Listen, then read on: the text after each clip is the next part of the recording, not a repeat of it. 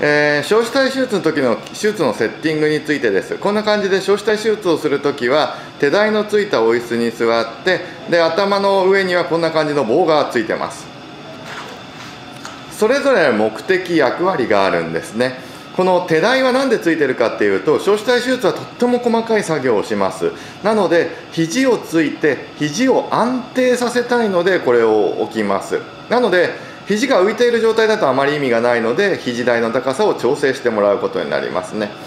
この頭の上に置いてある棒で、えーと、手の、え、ひらというかな甲の部分を押さえてで手の先が動かないようにしたりあとはこのえー、輪っかを使って水をためるつまり、えー、患者さんから流れた水をそこに溜めたりするっていうのを作る、え、作業をするために置いてあります。なので患者さんの顔の大きさ高さによって高さを調整してもらうということがあるわけですね。